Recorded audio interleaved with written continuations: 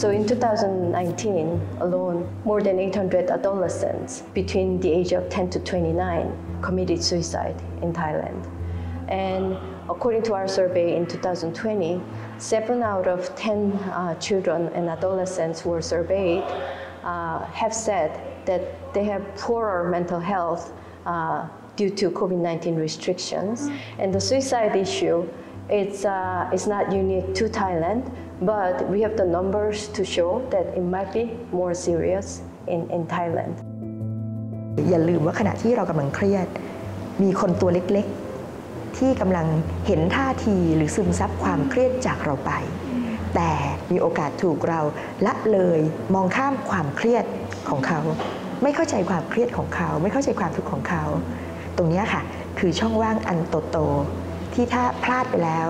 เราอาจจะทำให้เด็กคนหนึ่ง ซึ่งควรจะเติบโตอย่างสวยงามเป็นอนาคตที่แข็งแรง กลายเป็นคนที่ถูกทำร้ายทั้งที่รัก A study of mental health and support systems in Thailand shows that an estimated 1 in 7 adolescents aged 10 to 19 and 1 in 14 children aged 5 to 9 have mental health disorders. At the same time, suicide is becoming the third leading cause of death among adolescents.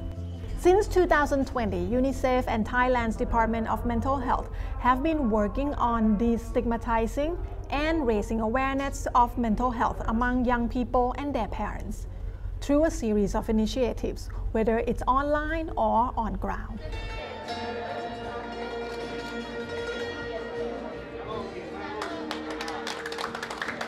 According to UNICEF, the campaign to normalize the conversation will be even bigger this year to expose more children and adolescents to mental health literacy,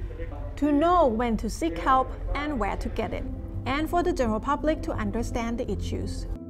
It's more about the lack of knowledge. Uh, many young people, uh, they simply do not seek help or they don't know where to go because they lack the knowledge. It's about at the end reaching the most uh, marginalized and vulnerable children because these are precisely the ones that are in poverty, the ones that are migrants, the ones that are out of school. The study published in late August notes that while Thailand has made important progress in addressing child and adolescent mental health, especially in national policy and legislation, there are still crucial gaps in addressing adolescent mental health issues, as inadequate budget, limited coordination among the various service sectors, and insufficient psychiatrists and skilled workforce across all sectors.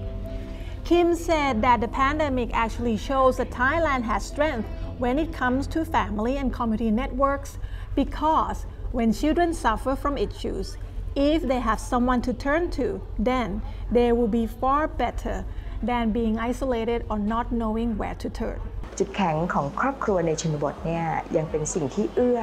ต่อการทั้งส่งเสริมสุขภาพจิต ป้องกันปัญหาสุขภาพจิต หรือการดูแลกันในเชิงของปัญหาสุขภาพจิตได้ดีนะคะะหลานบ้านนี้ก็อาจจะเปรียบเสมือนหลานของทุกๆ บ้าน ทุกคนมองเห็นการเติบโตของเขาทุกเด็กทุกคนดูแลเขา อันนี้ยังคงเป็นจุดแข็งที่ดีเสมอมาของสังคมไทย